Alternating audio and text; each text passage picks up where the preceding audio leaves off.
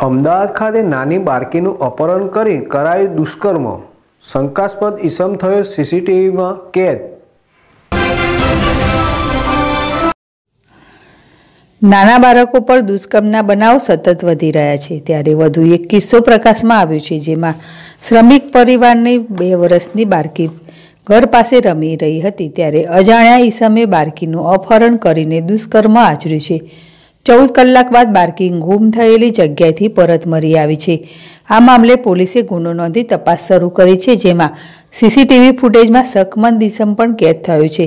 શહેરના આંબલી બોપલ રોડ પર રામેશ્વર ફાર્મ નજીક આવેલા ખુલ્લી જગ્યામાં શ્રમિક પરિવાર સાપરા બાંધીને રહે છે. ત્રણ દિવસ પહેલા આ પરિવારની બાળકી ઘર બહારથી ગુમ થઈ હતી, જેને પગલે તેના પરિવારજનોએ આસપાસમાં શોધખોળ કરી પણ બાળકી મરી ન હતી. આ મામલે સરખેજ પોલીસે સીસીટીવી તેમજ અલગ અલગ જગ્યાએ બાળકીની શોધખોળ હાથ ધરી હતી. આ દરમિયાન બીજા દિવસે વહેલી સવારે પાંચ વાગે ઘર નજીક આવેલા ત્રણ રસ્તા પાસેથી બાળકી રડતી હાલતમાં મરી આવી હતી. બાળકી ચૌદ કલાક સુધી ગુમ રહી અને તે બાદ પરિવારને મરી હતી. બાળકી મરી ગયા બાદ પોલીસે તપાસ કરતા તેની સાથે કોઈ ઘટના બની હોવાની શંકા ગઈ હતી. જેથી પોલીસે બાળકીની મેડિકલ તપાસ કરાવતા બાળકી સાથે દુષ્કર્મ થયું હોવાનો ખુલાસો થયો હતો, જેથી બાળકીને તાત્કાલિક સારવાર અર્થે હોસ્પિટલમાં લઈ જવામાં આવી હતી. હાલ આ મામલે સરખેજ પોલીસ અને અમદાવાદ ક્રાઇમ બ્રાન્ચે તપાસ હાથ ધરી છે, જેમાં શકમંદ ઇસમના સીસીટીવી ફૂટેજ પણ મળી આવ્યા છે, જેની પોલીસ શોધખોળ કરી રહી છે. વિશાલ રાજપૂત જેડેશ્રી અમદાવાદ.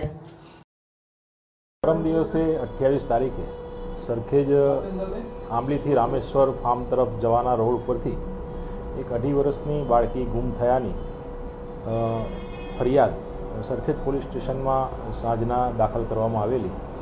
બાદ બાળકીની તપાસ હાથ ધરેલી અને બાળકી સવારે સવા પાંચના અરસામાં જે જગ્યાએથી ગુમ થયેલી તેનાથી બસોથી ત્રણસો મીટર દૂર મળી આવેલી. અને ત્યારબાદ તેના વાલીને સોંપવામાં આવેલી. દરમિયાન બાળકીનું મેડિકલ ટેસ્ટ કરાવતા. તેની પર સેક્સ્યુઅલ એસોલ્ટ થયેલાની વિગત સામે આવતા. તે મુજબની કલમનો ઉમેરો કરી અને આરોપીની શોધખોળ હાથ ધરવામાં આવેલી છે. બાળકી ક્યારે ગુમ થઈ હતી? એના કેટલા ટાઈમ પછી મળી આવી? ને હાલ તપાસમાં કંઈક સીસીટીવી કંઈક સામે આવી રહ્યું છે? બાળકી બપોરના ત્રણ વાગે એના ઘર પાસે રમતી હતી. ત્યાંથી ગુમ થયેલી હતી. અને તેમના સગાવાલાઓએ લગભગ ત્રણથી ચાર કલાક સુધી તપાસ હાથ ધરેલી.